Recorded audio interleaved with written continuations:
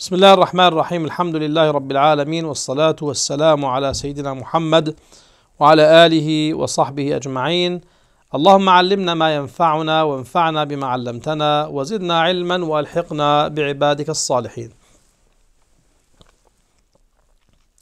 صلاة التسابيح ما هي؟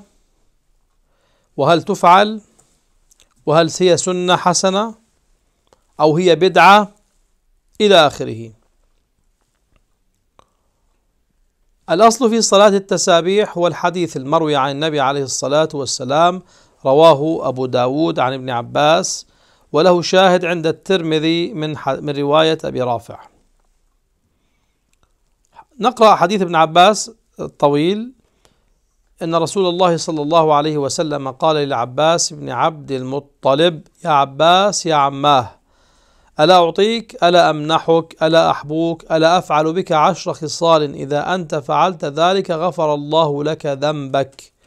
أوله وآخره قديمه وحديثه خطاه وعمده صغيره وكبيره سره وعلانيته. عشر خصال. أن تصلي أربع ركعات تقرأ في كل ركعة فاتحة الكتاب وسورة. فإذا فرغت من القراءة في أول ركعة وأنت قائم قلت سبحان الله والحمد لله ولا إله إلا الله والله أكبر خمس عشرة مرة. ثم تركع فتقولها وأنت راكع عشرة. ثم ترفع رأسك من الركوع فتقولها عشرة. ثم تهوي ساجدا فتقولها وأنت ساجد عشرة. ثم ترفع رأسك من السجود فتقولها عشرة.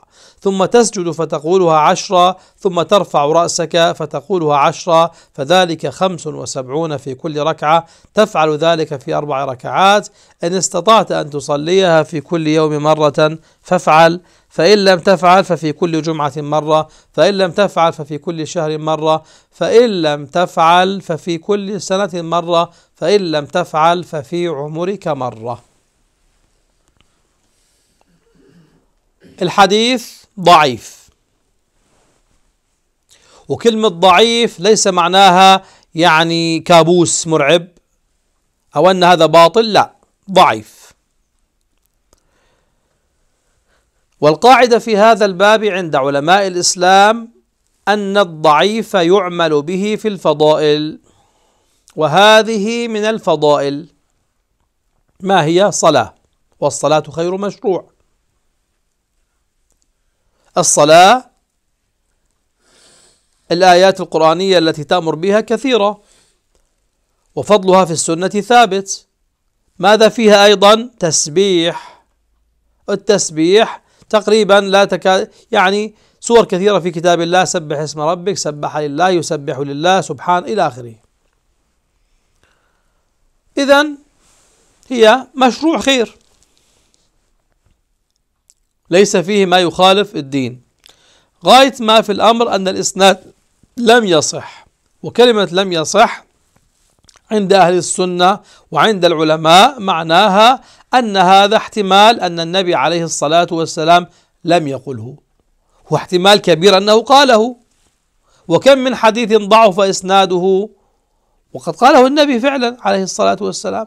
لكن هذه الأحاديث الضعيفة التي يعني لم يصح إسنادها إلى النبي عليه الصلاة والسلام. لا يقوم بها شيء مهم. لم يفت من الدين شيء يحتاجه الناس. غاية ما في الأمر فضائل. فالعلماء والصالحون خاصة مع التأكيد الذي في هذا الحديث يعني رواه أبو داود ورواه الترمذي يعني هذه كتب السنن هذه. نعم. فالعلماء وأكثر العلماء وأكثر الصالحين الذين عاصرناهم ورأينا عنهم وروينا عنهم تقريبا جميعهما. كل من يعني أعلمه من العلماء والصالحين كان يفعل هذه الصلاة. أخي كما في الحديث ولو مرة واحدة. لو أن تفعلها مرة واحدة في عمرك. عادة الناس يفعلونها في أوقات القربات. في العشر الأخير من رمضان في ليلة القدر في كذا. يعني ذات الأمر يسير. إن لم تفعل صلاة التسابيح لا حرج ولا ضرر عليك. ولكن المشكلة الكبرى من يعتقد أن من يفعل صلاة التسابيح هو مبتدع. هذا دخل في حيز الابتداع إذ لا يبدع من عمل بالحديث الضعيف. الحديث الضعيف أكثر العلماء يعملون به أكثر تقريبا يعني تستطيع أن تقول المذاهب الأربعة. لا نعلم واحدا من المذاهب الأربعة إلا وقد عمل بأحاديث ضعيفة. أبدا. المذاهب الأربعة تعمل بالأحاديث الضعيفة بل هناك إمام كأبي داود ربما نص على جواز العمل بالضعيف. أو ربما فهم من كلامه حينما يقول وما سكت عنه فهو صالح.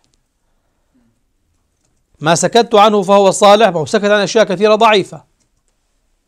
صالح للاحتجاج يعني هو ضعيف ولكنه صالح عنده. والإمام أحمد روي عنه ربما من أكثر الأئمة الذين روي عنه التصريح بالعمل بالضعيف هو الإمام أحمد حيث قدمه على أقوال الرجال. خاصة أن الأمر في الفضائل. هذا واحد. ثانيا أن الأمر لا يخالف شيئا من القضايا الدينية في الأحاديث الصحيحة أو في القرآن الكريم. هنا مشكلة. الذي يعمل بحديث ضعيف يخالف الصحيح. هنا مشكلة. فالعلماء الذين أجازوا العمل بالضعيف أجازوه بشرط ألا يخالف الصحيح.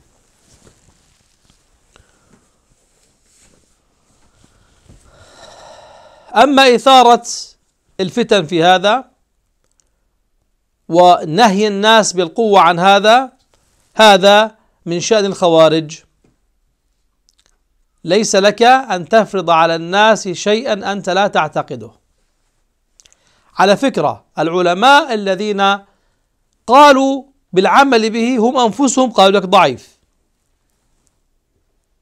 يعني النووي رحمه الله قال لك ضعيف.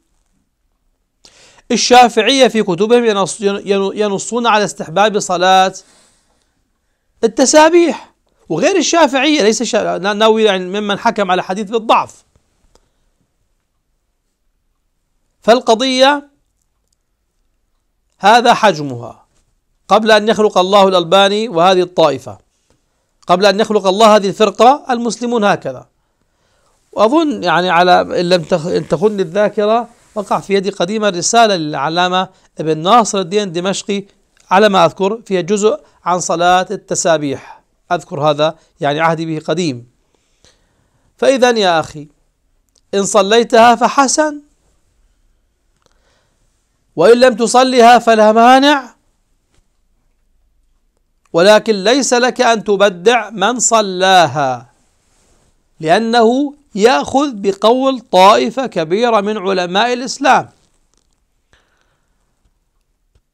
وإذا ما قمنا بدراسة حصرية للذين منعوا من الصحيح من الضعيف من العلماء الحقيقة ستجد أشياء محرجة جدا لك. كل الذين روي عنهم العمل عدم العمل بالضعيف رووا أحاديث ضعيفة. طيب لماذا يروونها؟ وجمعوها في أجزاء تصور. يعني انظر مثلا لو جمع ليحذر وقال هذا ضعيف لا تفعل لا تفعله. البخاري رحمه الله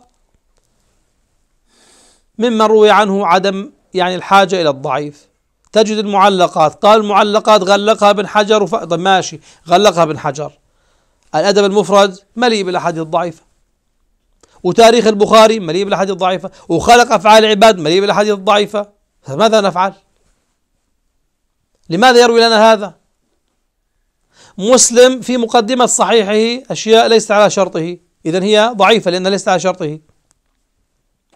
وهي في المقدمة. وإضافة للأشياء التي هي أتى بها متابعات وشواهد هذه لا نتكلم عنها الآن لأن أتى بها للتقوية.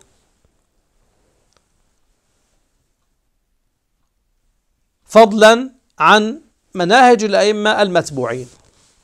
لذلك من وفقه الله لهذه الصلاة فليحمد الله تعالى ونطلب منكم الدعاء جميعا.